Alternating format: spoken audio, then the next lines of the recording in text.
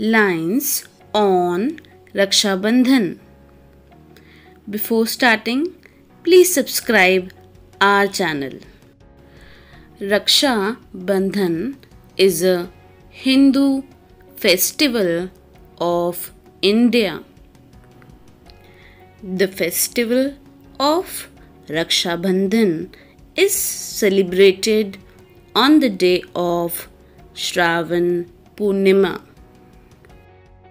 This festival is celebrated by the brothers and sisters only.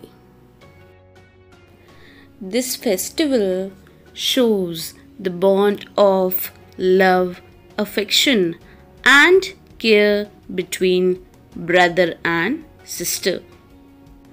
On this day, sister tie a special thread on her brother's wrist. Sister also prays for her brother well being. At Raksha Bandhan, the brother always promises to protect her sister. The bond of protection is called Raksha Bandhan.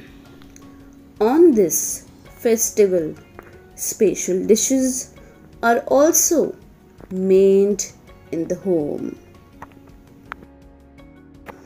It is a symbol of love, togetherness, and faith in each other. Raksha Bandhan is also known as Rakhi. Thank you all for watching this video and subscribe our channel and also download our free app for all online competitions.